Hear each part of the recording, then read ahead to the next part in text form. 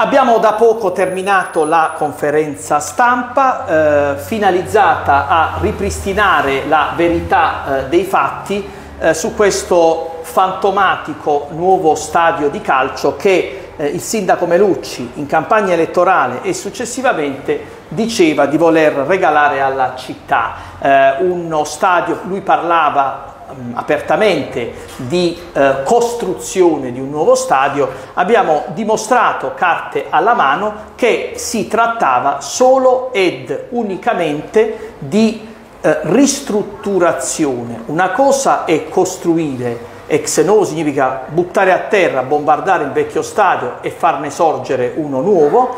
eh, e altra cosa è ristrutturare l'esistente. Con il eh, collega Massimo Battista abbiamo, come dire, sviscerato vari, ehm, proprio le varie espressioni eh, dalla, dalle prove documentali, da tutta la documentazione e, caro Massimo, è emerso che come dire, il, questo, questa grande bolla mediatica del sindaco Melucci, eh, questi rendering, queste vele che giravano per la città con questo fantomatico progetto, si sono rivelate soltanto una presa per i fondelli nei confronti della città e della tifoseria rossoblù. Beh, Luigi, dai documenti in nostro possesso che abbiamo recapitato il giorno 16 agosto, in piena estate, in piena, in piena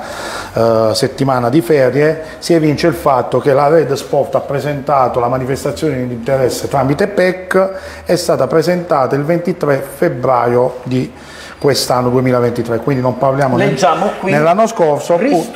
si parla di ristrutturazione dello stadio e rigenerazione e nuovi insediamenti nell'area uh, di tutto il, il, quartiere Salinella. Detto questo, la Red Sport, i passi successivi che doveva adempiere erano la polizza Federiussore da presentare e la costituzione dell'associazione temporanea di imprese per valutare chi erano i soggetti interessati per il fantomatico nuovo stadio. Detto questo, poi successivamente a luglio scopriamo che la giunta delibera 8, 8 delibere, il sindaco tra l'altro non presente e della via comune non, non c'è traccia. Quindi parliamo del 23 febbraio, il commissario ancora non era stato insiedato, quindi al di là di quello che noi stiamo vedendo in queste settimane, le, le, le diatribe tra il sindaco Rinaldo Melucci e il commissario straordinario Ferrarese, noi possiamo dire con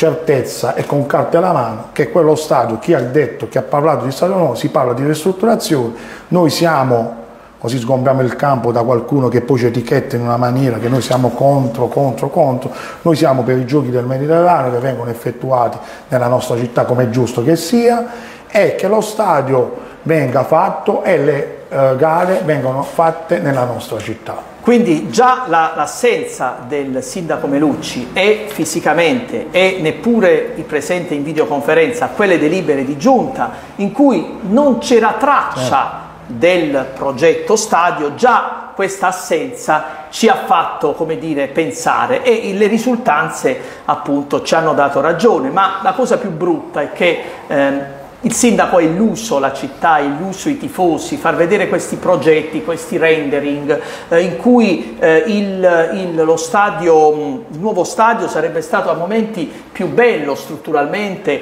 dello Juventus e Stadium, la torre, l'albergo, insomma qualcosa di favoloso. Alla fine, come dire, le bugie vengono eh, a galla e, eh, come dire, i bugiardi hanno le gambe corte, anche quelli che occupano la poltrona di primo cittadino a Palazzo di Città.